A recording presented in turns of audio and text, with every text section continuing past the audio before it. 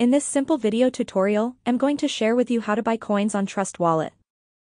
You can simply buy crypto on Trust Wallet in just few simple steps. To do this, simply open up your Trust Wallet. On this page, you will have to tap on the buy option right here. Then select any coins or tokens you would like to buy.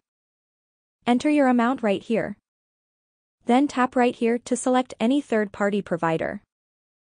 It's better to always select the Trust Wallet recommended with best exchange rates.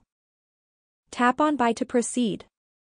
Put in mind that all payments will be done using your card. It can either be a credit, debit, or MasterCard. To continue, you will have to first verify by entering your email address and then provide your identity credentials too.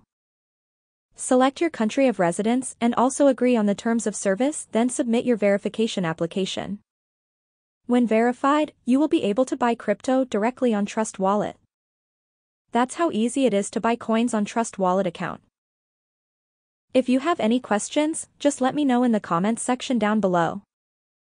Please don't forget to leave a like, share and subscribe for more video tutorials like this one.